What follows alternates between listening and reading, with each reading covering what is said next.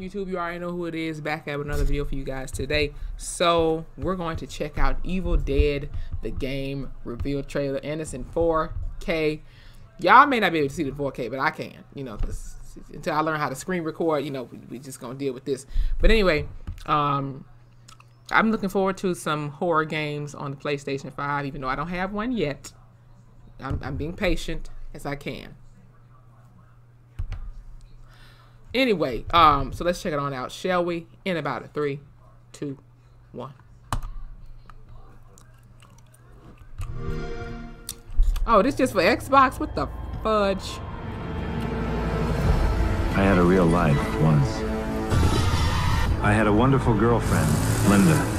Together we drove to a small That's a nice in looking car, especially the graphics. Necronomicon Ex Mortis, the Book of the Dead. Nope. It seems an archaeologist had come to this remote place to translate and study his latest find. Yeah, they got knights and shit it was never meant for the world of the living. Are you The book awoke something Uh-uh. dark in the woods. Wait a minute. It took Linda. And then it came for me. Okay. Ooh, I like it up. 2021. Okay. All right. I see what we doing. I might have to damn buy Xbox too. Shit. If, I mean, if it's just gonna be for that. Um, but I like what I saw. I really did. The graphics look dope. Um, you know, like I said, I look forward to playing these scary games. I can't wait till we get a trailer for the Five Nights at Freddy's game because like the setting of that, like it looks like a big supersized ass mall from like the teaser that we got earlier this year. I can't I cannot wait to play that.